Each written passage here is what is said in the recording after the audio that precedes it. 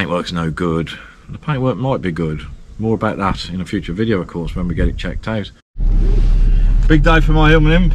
I say big day, what'll be probably 10 minutes of video is going to be uh, probably a few days or even weeks. It's time to get a laminated windscreen fitted and let's have this paintwork sorted.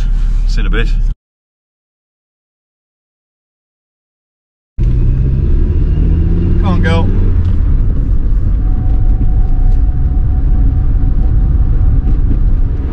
I do think these four Fiesta seats are, are higher up than a standard Hillman Imp, so I do feel like I'm sitting quite a lot higher than I would do otherwise. And the pedal box is, is so over to the left. It's like driving some old Alfas. Brake pedal's almost where you'd expect the clutch to be.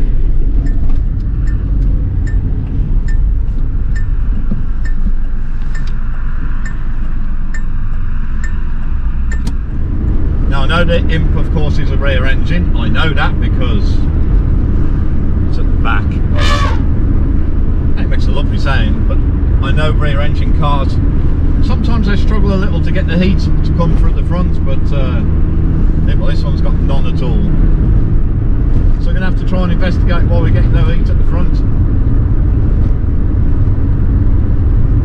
Of course I have a more modern smart car with an engine in the back, but that heat is absolutely lovely. Although of course I appreciate smart cars over 30 years younger. So actually the heater is giving a little bit of warmth into the cabin, there's just a little breeze coming through which is nice.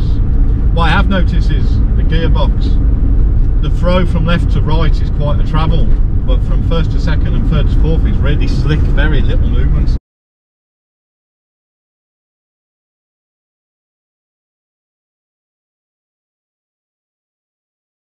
So the windscreen is now laminated everyone and it's raining. Bummer. It was lovely and clean a few minutes ago. But not to worry, my diddy little wipers with their one speed wiper setting, they're keeping the vision ahead quite good. Now it's off to the paint shop. See in a bit. Much, much, much later.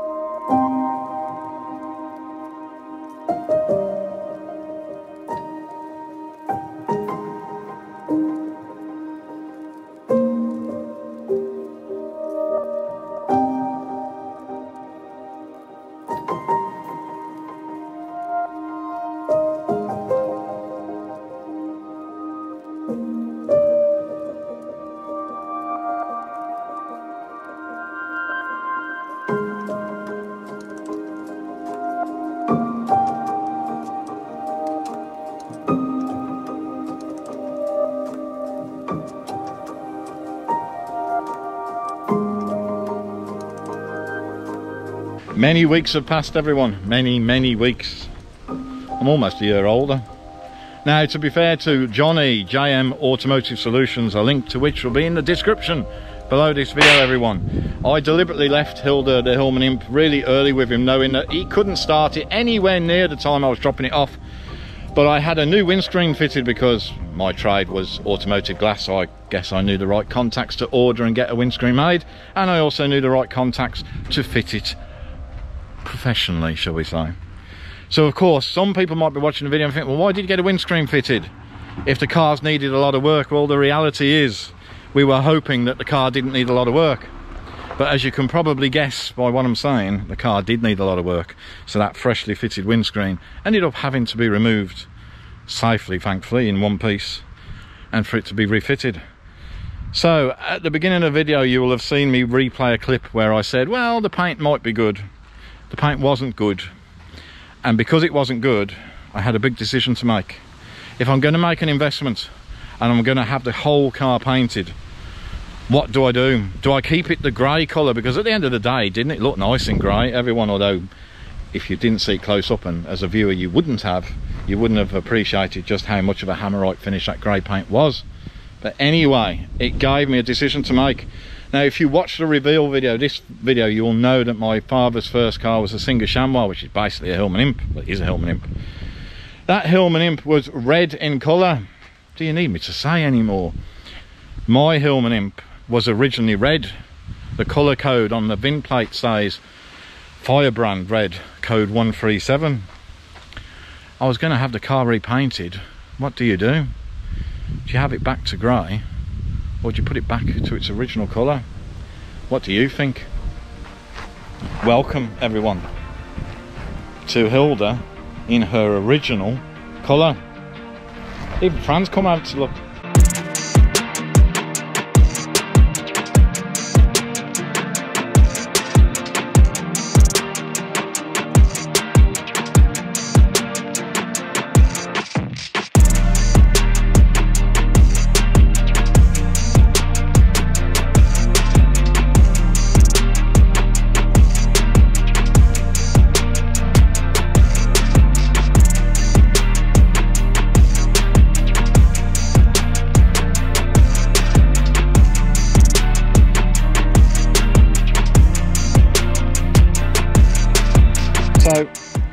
quick explanation for now, and we'll do a, a, a fuller video in some time in the future.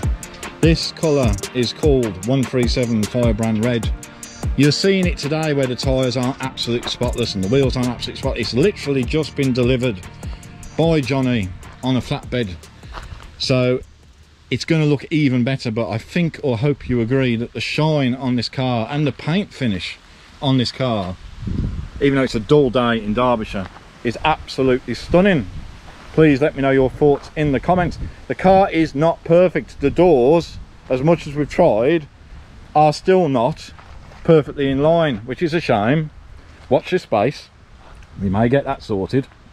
If you ignore that for a moment everything's been painted. And you'll be pleased to know hopefully you're pleased to know these new rubbers on the rear quarters because the old ones were perished that should be a good indication that the car has had a glass out respray. Now, unfortunately, I couldn't go to the expense of having engine out to get under the bonnet done, and I couldn't go to the expense of stripping the whole of the interior out to get little bits of the trim done inside the car, as I'll show you in a minute. But overall, I hope you agree, Hilda looks absolutely splendid. This is not the final story of what we're doing with this car. And whilst I come around the back, have you noticed something else that's changed? The number plates. Because although in the UK you can have the silver and black, which look nice on the grey car, of course. Although you can have silver and black until the 1st of Jan 1973, this car probably didn't come with those kind of plates on. And my father's car, which was a G-Reg, POL 587G if anyone's interested, that also had the same plates as Hilda has now got. And aren't they absolutely lovely? They are the proper jobs with the plastic sticky out letters. That's what I call them. I want your honest comments underneath the video, please, everyone. Anyway, we said there is more to do, and there is definitely more to do. So as you take one more scan around the car, I'm going to show you the interior, show you what's been done. Now, just to be clear, I'm not going to open it now, we'll do a, a fuller video in the future, but under the bonnet has been painted as far as the bonnet itself is concerned, so that's all good. And obviously everything around there has been painted, just not the bits underneath, or inside should I say. And the same with the engine bay. But as Johnny, the guy who painted it for me, has said, and what a great guy he is, bless him. Thank you very much, Johnny, if you're watching this. Boy, is he a fussy painter. What he did explain is the obvious, of course. Had this car have been red to start with and I was changing it to grey and I couldn't afford to get the bits done inside, then of course that would look a bit silly because you'd open up, say, the engine compartment and you'd see all this shiny red. The reality is if you open up the engine compartment on Hilda now, all you see is the dark grey, which I think is much less obvious and I'm absolutely happy with. I hope you agree. if we look inside, and Johnny, again, if you're watching this, you'll get excited for two seconds, but you're going to know I'm joking. If you look inside, there are currently no rear seats in the car. Is this because there's a roll cage going in? No. It's because the seats are being changed. Two reasons that seats are being changed. Number one, the Ford Fiesta seats that were fitted, which are really comfortable. I quite liked them because they're comfortable. But then we realised there's nowhere to fold the back of the seat. Can you believe it? So getting in and out the back involves turning the cog round to recline the backrest forward and then sliding the seat forward. It's just not workable. And because I love original, I've been able to source some seats. We'll show you those in a future video. Whilst we're at it, the seat belts aren't correct either and to be quite honest they sit really proud really in front of your shoulders.